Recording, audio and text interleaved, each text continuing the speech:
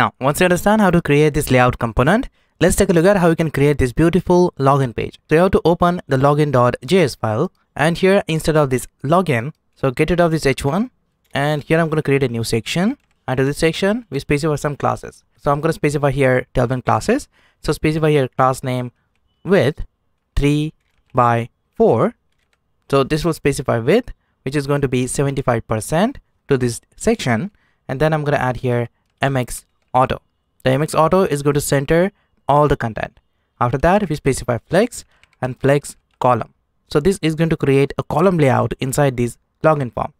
And just out of that, I'm going to add some gap to the flex items. So we specify here a gap 10.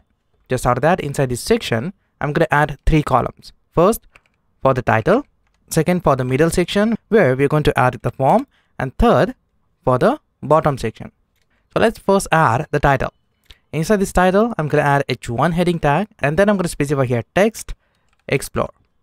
Just out of that, I'm going to specify some Tailwind classes here. So class names is going to be text gray 800. Then I'm going to specify here text 4XL to increase the size of this text.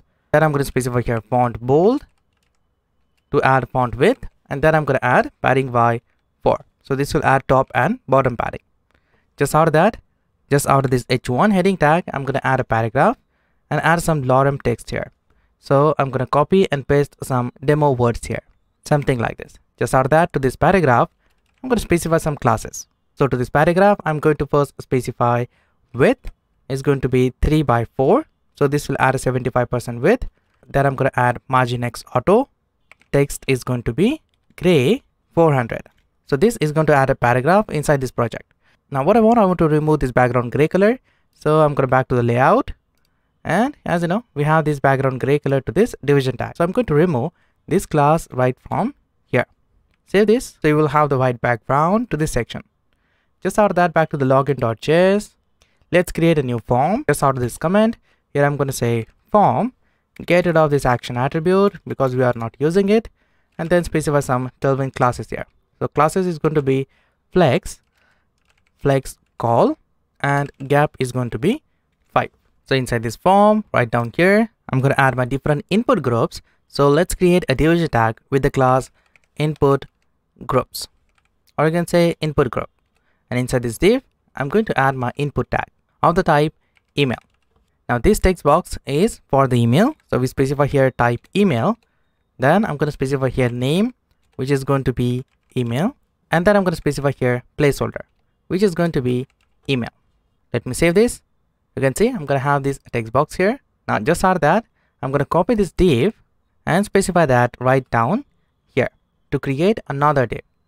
So this is going to create another input group with the input type email. But instead of email, right now I'm going to change this to password.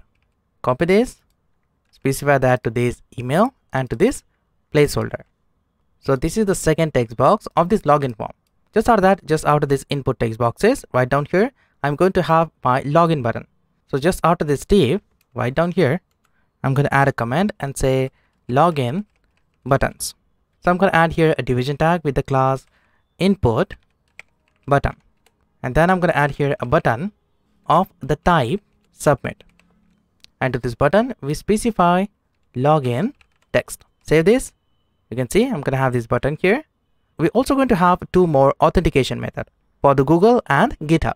So let's add both these buttons as well. Copy this right down here, paste this button and then specify here sign in with Google. Let me copy this button, paste it right down here and instead of sign in with Google, here I'm going to say sign in with GitHub. Save this and I'm going to have this result here. Now what I want, I want to separate these buttons. So let me cut this right down here i'm going to create another div with input button and paste my buttons here. Copy the last button and place that inside the input button class right here. Save the changes. As you can see i'm going to have the result what i want. Now just out of that just after this form right down here i'm going to have a link so the user can easily move to the register page. So right down here i'm going to add a paragraph and then i'm going to specify here some tailwind classes so I'm going to add some classes here. Classes is going to be text center, text gray, 400, and right inside this paragraph i'm going to say don't have an account yet. Then click on this link component. I'm going to add here a link component. Make sure you import this link component at the top. So at the top right up here you need to say import link from next link and then i'm going to add here inside this link here i'm going to specify href attribute href and then inside these curly braces here i'm going to add forward slash register the route path of the register page. And inside this link here i'm going to add my anchor tag. And inside this anchor tag here i'm going to say sign up. And then to this anchor tag we specify some Tailwind classes. So i'm going to say here class name text blue 700 when i save the changes you can see i'm going to have this bottom text. And now when you click on this sign up you will now navigate to this register page